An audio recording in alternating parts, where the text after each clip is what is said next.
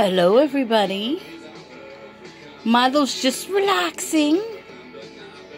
He's enjoying himself. He had a long day today. He was outside a lot, but it also rained a lot over here. But tomorrow it's going to be a scorcher. Thank God we have air conditioning.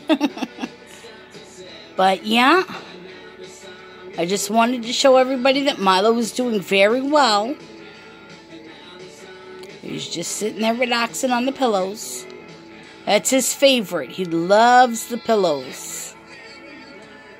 Have a nice day, everybody, and a nice evening to you all, too. God bless you always.